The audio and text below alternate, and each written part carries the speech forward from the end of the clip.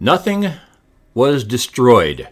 Hi, I'm Dave Arnott, the Christian economist. Welcome to another edition of a podcast on Christian and economics. Well, to start the podcast today, I'm returning to my management roots and citing a book by a guy named James Surowiecki. The book is called The Wisdom of Crowds. He points out that none of us know everything. All of us are smarter than any of us. And the point is, the more views you seek on a subject, the better you understand it. This is certainly true of our Christian lives, isn't it? How, are we supposed to understand God? But as we meet with others and study and listen to their views, we get a clearer understanding of God. It's much like we're looking through a glass darkly, but the glass becomes a little more clear the more views we get. Well, let's take this view to economics. I'm recording this on March 20 of the year 2020. We're in the depths of the coronavirus crisis. And as I was reading the Wall Street Journal, I take Surowiecki's advice. The articles are written by one or two people who may have some expertise in the area, but then the Wall Street Journal started something interesting a couple of years ago when they put it online. They allow readers to add comments at the bottom. And I think those are sometimes more instructive than the article itself. Because often you get people who are experts at this particular area. And for me, particularly, it's finance. I mean, I know economics, but I don't know finance very well. And so I'm always looking for financial answers to give me a more fully orbed view of what I just read. Well, I was reading an article the other day about this subject, the subject of the coronavirus and how it's affecting the economy.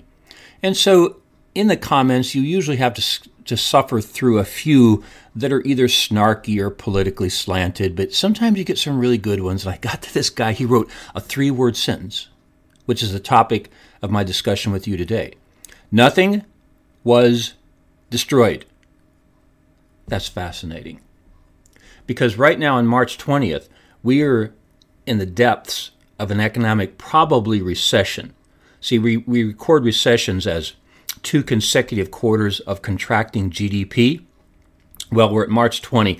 Pretty certain the first quarter will contract the GDP, and it'll will contract during the second. By definition, we probably are in a recession.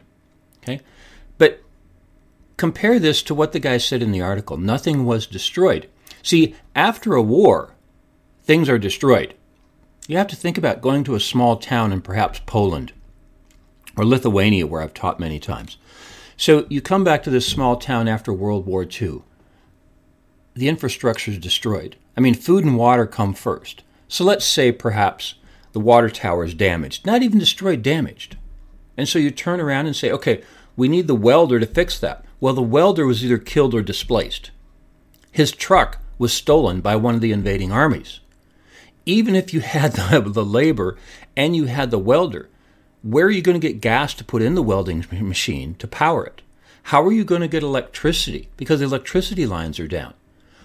So water is, is harmed, labor's not there, the sewer lines don't work. You know, often many people die after war because the infrastructure is gone. So even if you can ship in clean water and, and food, what do you do with sewage? I mean, this is what happens. And so the whole infrastructure is broken down. That's why this guy's point in the Wall Street Journal was so interesting. In the depths of what we think is an economic recession, nothing has been destroyed in the coronavirus epic, right? Okay, so economics, by definition, is the means of production and distribution of products under scarcity. But in this economic recession, nothing has been destroyed. Think about Disney World. No one is going to Disney World today. Their revenue is going to be zero. But what has been destroyed at Disney World? Nothing. Nothing. The day they open the gates, the electricity is going to work in every building and in every street. The water is going to work to every fountain. Every toilet is going to flush. The gas lines are all there. The security forces, all the labor. Nothing has been destroyed. So we can expect the economy to pick up pretty quickly when this thing is over. As, as a side effect here, as a matter of fact, I was just talking about war. This is not my subject today, but I just can't resist this 30 second step to the side. That's why the United States had a positive balance of trade from 1945 to 1975. In the post war period, Japan and Germany were destroyed. Their infrastructure was destroyed. They could not produce anything. In 30 years, they became the numbers two and three economies in the world by 1975. But from 1945 to 1975, the only place you could get anything was from America because nothing was destroyed in America. That's why the balance of trade was positive during those 30 years and has been negative ever since. The point is, balance of trade for a developed economy like the United States is a natural effect. When we look back to the 45 to 75 period, that was an alternative. That was a strange environment. Anyway, back to my subject, right? Well, what we all want to know is when is this economy going to come back? I, I don't know. I mean, my wife works in medical research. She knows more about this than I do. I've been reading articles and trying to figure it out. I don't know, and it seems as though nobody knows. March 19th, yesterday, Wuhan, China, where this thing started, had their first day without any reported cases, so they say. So maybe that's two months. I don't know, two or three months probably. I don't know the epidemi- epidemiological part of it. I know the economic part of it. Nothing was destroyed. So the day they open Disney World, the day they open restaurants, everything will come back really quickly. In two months, maybe, maybe in three. Don't hold me to that prediction. I'm not good at that. I'm good at the economic part. I'm not good at the disease transmission part. But this will be, this will be the, the bad part of it. Companies that are well capitalized, you know, large public trading companies and large equity companies, they will do okay because they can obtain financing to get through this difficulty. It's the small organizations who will struggle individual restaurants, how are they going to capitalize themselves through this difficult period? They will have a great deal more trouble. Let's look at the economics part of this. Well, there's monetary and fiscal policy. They've pulled out all the stops, by the way. That phrase comes from an organ. On the back of an organ, it has a stop, which stops the air from coming out. When you pull out the stops, the organ operates at its loudest. That's pulling out all the stops monetary policy, all the stops were pulled out last week. Going into this crisis, interest rates were in the range of 1.25 to 1.5. They've now been reduced to 0 to 0.25. A whole percentage point was taking off. And they're talking about quantitative easing, meaning money supply. Remember, there's two things the Fed can do in monetary policy.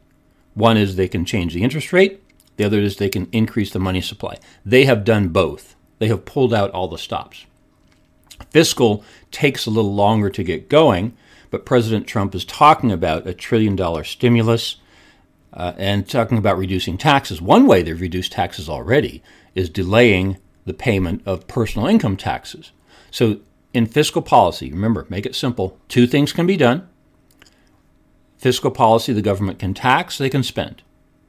They're talking about reducing taxes and increasing spending.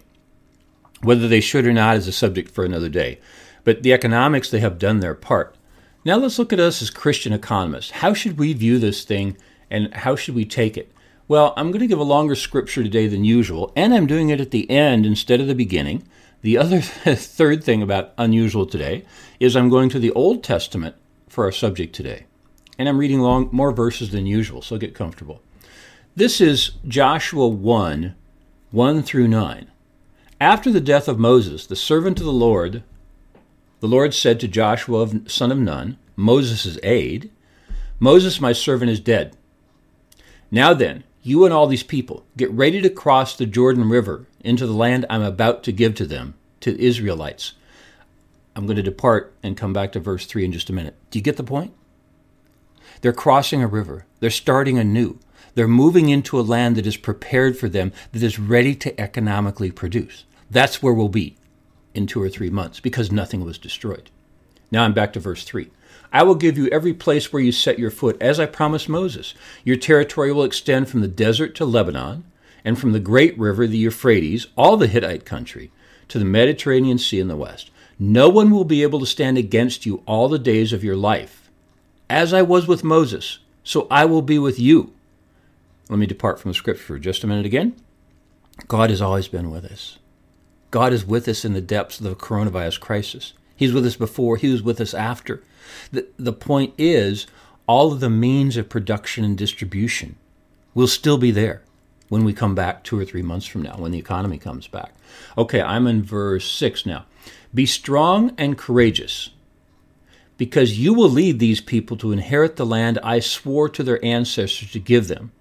Verse 7 Be strong and very courageous.